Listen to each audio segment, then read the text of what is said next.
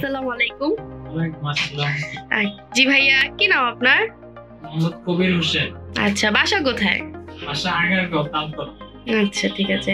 তো আপনার মানে কি সমস্যা হতো? স্যারের কাছে কেন এসেছিলেন? আমার সমস্যা হইতো পাইলস খুলে যাইতো বাইরে থাকতো এবং রক্তপাত আচ্ছা আর কি হতো? তারপরে ঘন ঘন পাত্র পায়খানা হইতো কোনো সময় পেটে খারাপ হইতো আবার শক্ত পায়খানা হইতো। এটা কত বছর ধরে আপনার এই সমস্যাগুলো হতো যে? দশ বছর। এই দশ বছর ভুগেছেন এই রোগ নিয়ে? কোনো কি ডাক্তার দেখান নাই? এমনি ডাক্তার দেখাইছি তারও তখন অপারেশন করতে বলছে তখন করে করিনি। কেন করার নাই? আচ্ছা। এখন তো অপারেশনটা তো করাইছেন। এখন কি বায়োসের কাটা ছিঁড়ার কি ভয় করে নাই? করছে তারপরে বাধ্যই করছে যে এখন তো লেজার অপারেশন করছেন। লেজার অপারেশনে কি কাটা ছিঁড়া আছে নাকি? নিচের অপারেশনে কাটাচ্ছে না না তাহলে এই তো ভয়টা কাটছে তাহলে না? হ্যাঁ তো স্যারের এই যে professor doctor S M Irfan স্যারের খোঁজটা আপনি কীভাবে পেয়েছেন? ফেসবুকে ইউটিউবে নাম আসছে আরও কয়েকজন আসছে তার মধ্যে স্যারের সিলেক্ট করছে স্যারের কথাবার্তা ভালো লেগেছিল।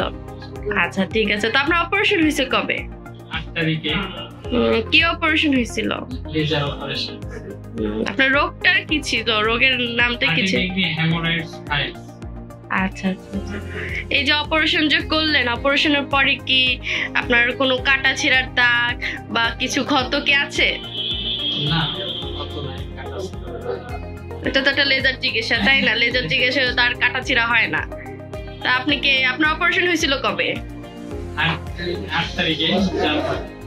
আচ্ছা। তো কয়দিন হইল আপনার অপারেশনে এই চব্বিশ ষোলো দিন। তো চব্বিশ ষোলো দিন আপনি একদম সুস্থ?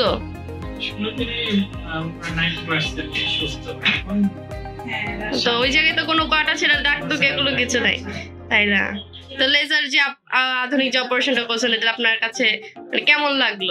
চমৎকার একটা ট্রিটমেন্ট হ্যাঁ আপনার বক্তব্যে কিছু বলেন এতে চমৎকার একটা ট্রিটমেন্ট পাইলেন। আপনার খুশিটা কতটুকু? আর স্যারের যে আপনার ট্রিটমেন্টটা করল আপনার কাছে কেমন লেগেছে? আমার খুব ভালো লাগছে। স্যারও পুরো ধন্যবাদ যে স্যারের ট্রিটমেন্ট দিয়ে। আচ্ছা তা আপনি এই যে অনেকে যে এরকম যন্ত্রণায় ভোগে তাদের জন্য আপনি কিছু বলতে চান না? বলব যে ভয় না করে পাইলসের চিকিৎসা করাই ভালো এটা যেহেতু অনেক সেন্সিটিভ জায়গা ওখান থেকে ক্যান্সার রক্ত হয় পচে যায়। হ্যাঁ আপনার যেমন রক্ত বের হতো রক্ত বের হওয়ার বন্ধ হয়ে গেছে না? হয়ে জি আচ্ছা। তো তা এখন তো পুরোপুরি ভালো আছেন সুস্থ আছেন। ইনশাআল্লাহ ভালো আছে। আচ্ছা ঠিক আছে। ধন্যবাদ আপনাকে।